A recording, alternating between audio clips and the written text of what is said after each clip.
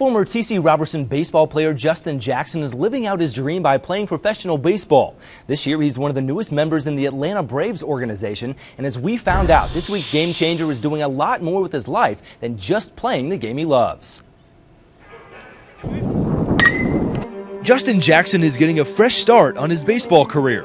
After spending seven years in the Toronto Blue Jays organization, he now has a minor league deal with his childhood favorite team, the Atlanta Braves. Five days after the World Series, free agency began for me, and the Braves called me at 12 o'clock at night, and was they were the first people to contact me.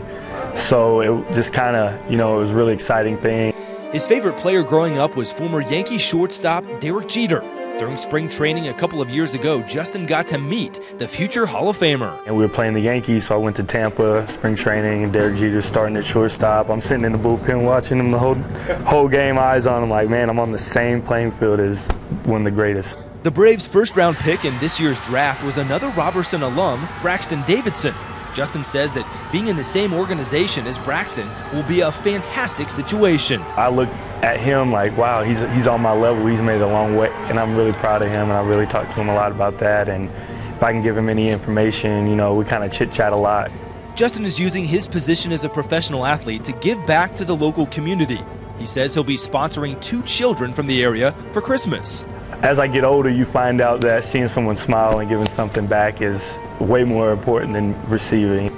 To get more information on how you can help Justin give back to the community, just visit our website at WLOS.com and click on Game Changer.